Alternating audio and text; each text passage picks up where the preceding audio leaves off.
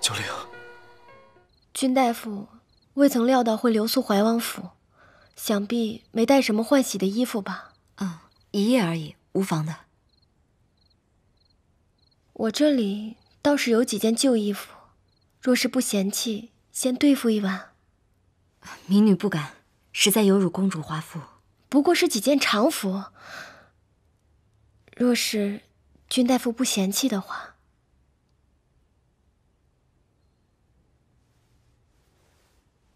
谢公主厚爱。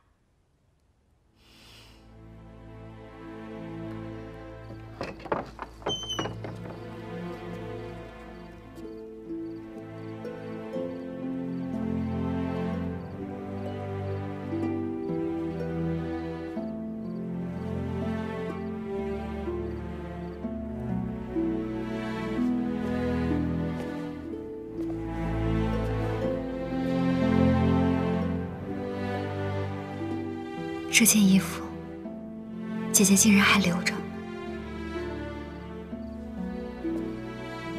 这么好看的绣纹，可是你熬了许久，一针一线亲手缝制的。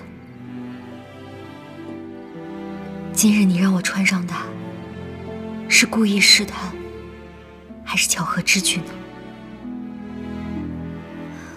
我已改头换面，穿便穿了。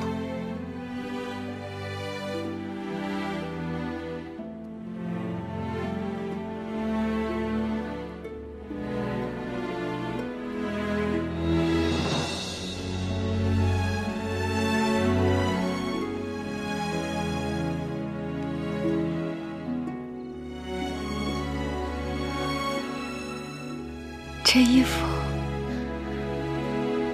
像是为你量身定做的一样。公主谬赞了。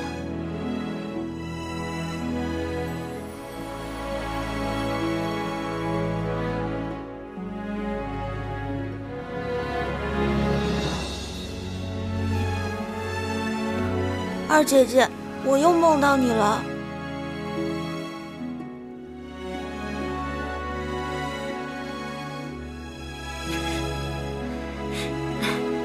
殿下，怕是因为刚睡醒认错人了吧？我不是你二姐姐。让他走！他怎么可以穿上二姐姐的衣服？蓉儿，是姐姐的意思。我去把衣服脱下来。慢着，穿着吧。